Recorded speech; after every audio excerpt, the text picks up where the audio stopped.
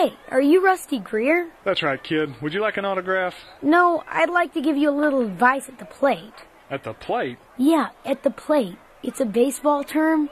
Means you're batting. I know what it means, but. Hey, hey, hey! Watch the attitude, slugger. I've got some good advice. But you're nine. I may be nine, but I know an unbalanced batting stance when I see one. You do? Yeah, that's right, big shot. You're trying too hard. Relax. Just bend those knees. That ball will fly. No kidding? I speak from experience.